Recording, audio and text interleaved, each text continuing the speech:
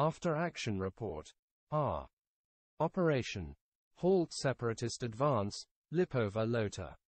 Unit. 1st Battalion, Chernarus 9th Separate Light Rifle Brigade. Date. Op. 6 October 2405. 1. Situation. Enemy.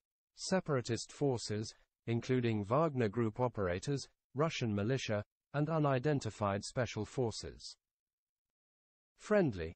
1st Battalion elements, 2nd Battalion, Chernarus 17th Separate Mechanized Cavalry Regiment, 2XT-34 85th tanks, 2X recon squads. Terrain. Lipova Lhota village, open fields to the west and east. Weather. No significant weather effects reported. 2. Mission. Seize and defend Lipova Lhota to disrupt separatist plans to capture the river crossing at Cepice. 3.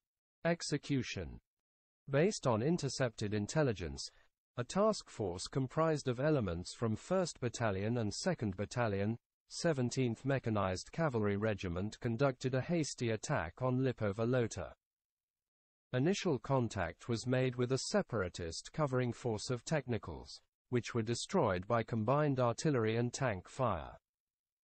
The task force deployed in a line across the northern edge of the village, with reserves positioned in the south. Enemy forces attacked from both west and east, with initial probes repelled. Subsequent attacks, particularly from the east, included Russian militia and unidentified special forces. Both friendly tanks were destroyed during these attacks. Facing increased pressure and potential encirclement, the task force commander initiated a withdrawal without orders. The withdrawal was conducted under enemy fire and the unit successfully reached pre-designated evacuation vehicles. 4. Friendly losses. 2 XT-34 85ths tanks destroyed. Command Squad. 4 Kia. Second Squad. 2 Kia. Third Squad. 5 Kia. Fourth Squad. 3 Kia. Recon Squad 1. WIA. KIA. All personnel. Recon Squad 2. 5 Kia. 5. Enemy losses. Estimated. 8x technicals destroyed. 6. Analysis. The operation successfully disrupted the separatist timetable for capturing the Cepice River crossing. However, friendly forces sustained significant casualties, including the loss of all tanks and a large number of personnel.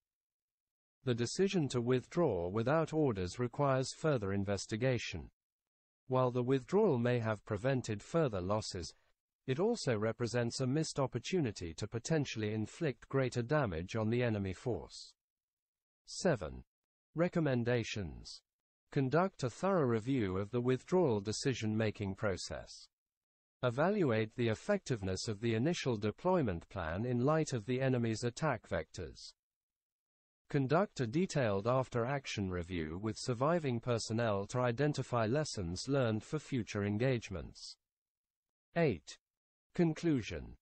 The operation achieved its objective of disrupting the separatist advance, but at a significant cost. Unit leadership will address deficiencies identified in this report and implement corrective actions to improve future performance.